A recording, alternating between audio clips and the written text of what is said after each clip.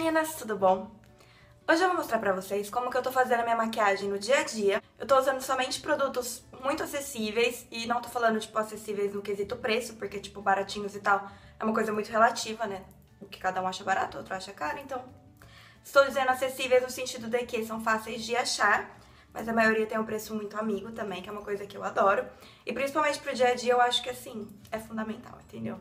Por exemplo, corretivo. Sempre tive corretivos mais caros, estava com muita dificuldade, inclusive fazendo... Tô falando demais, né? Já comecei a puxar papo aqui, né? Inclusive, eu falei no meu vídeo de favoritos do ano que eu queria dicas de corretivos mais baratos e tal, porque corretivo é uma coisa cara. E aí, se você fica usando todo dia, e acaba, e aí você tem que comprar, então... Não. E aí, me deram uma dica de um baratinho que eu tô amando. Então, eu vou fazer somente com produtos muito fáceis de achar e com preço legal que eu tô usando no meu dia a dia. Então, assim, eu acho legal ter, tipo, uma base mais potente, um corretivo mais potente, uma coisa assim, pra um dia especial, pra quando você vai sair, tal, que você precisa de mais durabilidade e tudo mais. Mas pro dia a dia eu gosto de coisas mais simples, mais fáceis de achar. Então, vamos começar. Eu já comecei lavando meu rosto. Eu usei esse sabonete de pequim que eu amo. Queria dar a dica dele, então por isso que eu tô falando já nesse vídeo. E eu vou começar hidratando o rosto com BB Cream que já tem um filtro solar também. Agradeço a minha mãe por ter derrubado todas as panelas lá embaixo. E, gente, eu espalho assim, que nem hidratante mesmo. Não tenho tempo pra ser perfeita com essas coisas. Essa é a maquiagem real que eu estou fazendo todos os dias. Eu faço em 5 minutos, porque eu já falei isso, eu não acordo mais cedo pra fazer maquiagem não, gente. Isso é o que dá sou anta, eu esqueci de falar. O BB Cream que eu tô usando é esse Ideal Face da Avon, que não é meu preferido, eu prefiro da L'Oreal, mas eu sou contra desperdício. Então como eu tinha esse, eu tô usando ele. E assim, não é ruim, sabe? Ele é um pouco mais oleoso do que eu gostaria, mas não é ruim. Em seguida eu vou usar o corretivo, que é o que eu falei, que é o da Tracta. Me falaram muito bem do da Natura também, mas eu não tenho ninguém que vende Natura aqui perto de mim. Então, pra mim é um pouco mais difícil de comprar. As espinhas. Como eu disse, eu tenho preguiça de espalhar, então eu vou com o pincel. Esse daqui é da Real Techniques, que eu amo. Então, deixa eu conversar enquanto eu espalho pra não perder tempo. Mas pra quem não sabe, eu entrei pra uma companhia de teatro musical. E estou amando! Eu já tinha falado, quem me acompanha nos vídeos já faz um tempo, já sabe que eu queria muito isso. Mas era só pra falar que eu preciso estar maquiada todos os dias, mesmo nos dias que é aula de dança e tal, a gente precisa estar bonita, sabe? É tipo coisa de bailarina real, assim. Só que não pode ser uma maquiagem super pesada, né? Porque senão derrete, fica tudo nojento. Então, essa pra mim é a maquiagem perfeita pro dia a dia. E tem dia que, tipo, eu faço um pouquinho mais, um pouquinho menos, mas eu vou mostrar pra vocês o básico do básico. Depois de espalhar o corretivo, eu venho com pó pra selar. E eu tô usando esse Pure Makeup da Maybelline. Também vende em farmácia e tudo mais. Eu sempre uso com pincel fofão. Nunca uso com a esponjinha. A não ser que não tenha outra opção, né? Odeio fazer maquiagem quando eu tô suando, gente. Senhor, essa cidade. Vejo a hora de começar o inverno. E vocês? Vocês gostam de inverno? Eu amo, porque onde eu moro é muito calor, sabe? Então mesmo inverno não é tipo inverno. Em seguida, eu sempre faço um contorninho. Eu vou usar esse bronzer da Bourjois, que eu sei que também não é super barato, mas vende em farmácia, então, como eu disse, acessibilidade, é fácil de achar. Com um pincel gordinho, assim, eu gosto de achatar ele, por isso que ele já tá até achatado.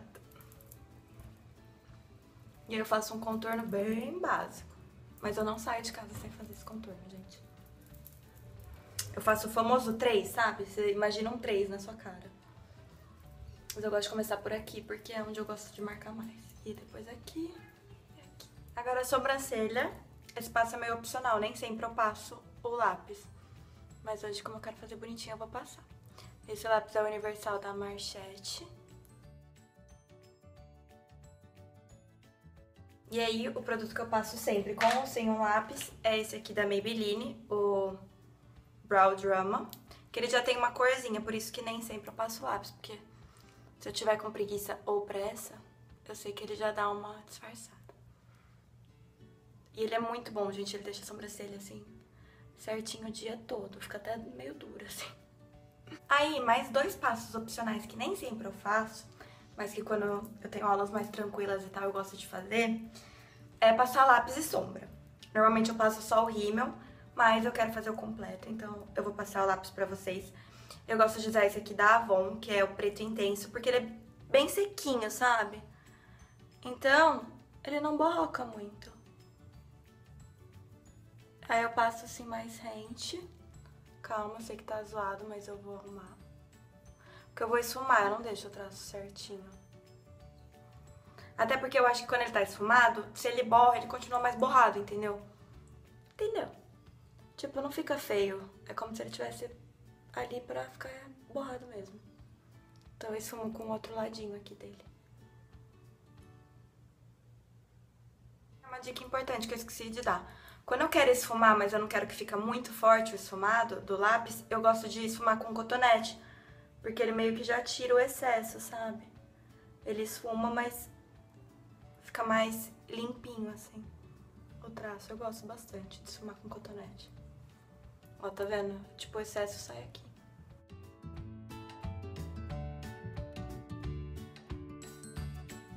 Ai, gente, outra dica que eu amo é ao invés de passar sombra, passar o próprio bronzer que você usou no rosto, usar como sombra por cima do lápis, que fica super bonito, dá profundidade, aí você não precisa de outro produto.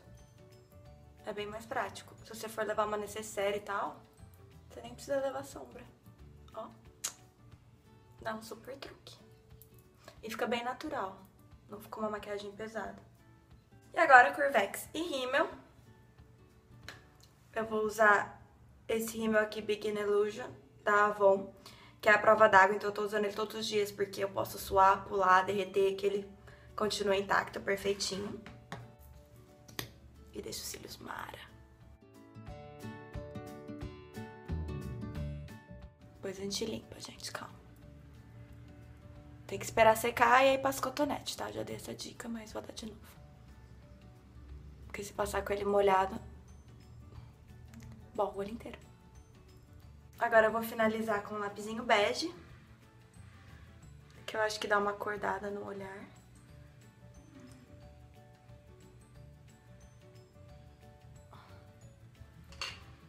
E vou usar um blush da Mary Kay. Vou usar uma mistura desses dois rosinha. Rosinhas. Só pra ficar bem natural, porque, gente, na hora que eu começo a pular, eu fico tão vermelha, mas tão vermelha. Pular que eu digo é tipo aulas de dança, circo e tal. Senão o povo vai achar que eu fico pulando que nem macaco, né?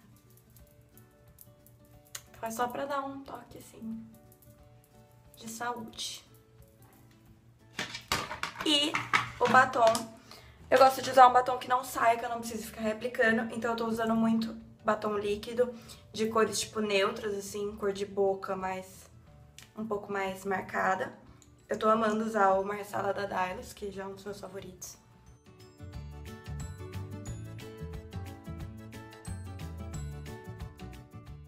Mas eu gosto de passar assim um pouquinho mais suave, sabe? Finalizo com o dedo e tal. Pra não ficar tão forte.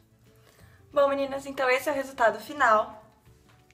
Fica bem natural, mas bem bonito e, tipo, resiste ao suor e ao dia inteiro fora. Eu espero que vocês tenham gostado. Se vocês gostarem, não esqueçam de dar o like para me ajudar a compartilhar o vídeo. Se inscreva no canal para não perder nenhum. E queria falar com vocês mais uma coisa, acabei de lembrar. Estou pretendendo fazer Veda no mês que vem. Pra quem não sabe, hashtag Veda. Vlog Everyday April. E tem gente que faz em agosto também, então August. E eu tô afim de fazer, igual eu fiz Vlogmas. Se vocês gostarem, se vocês estiverem afim, se vocês gostaram de ver o Vlogmas, então, se isso é algo que vocês se interessam, não deixe de comentar. Me sigam em todas as redes sociais, é Bárbara Cativa em todas, no Snap, no Insta, no Face. Então, a gente vai conversando por lá. Beijos e até a próxima.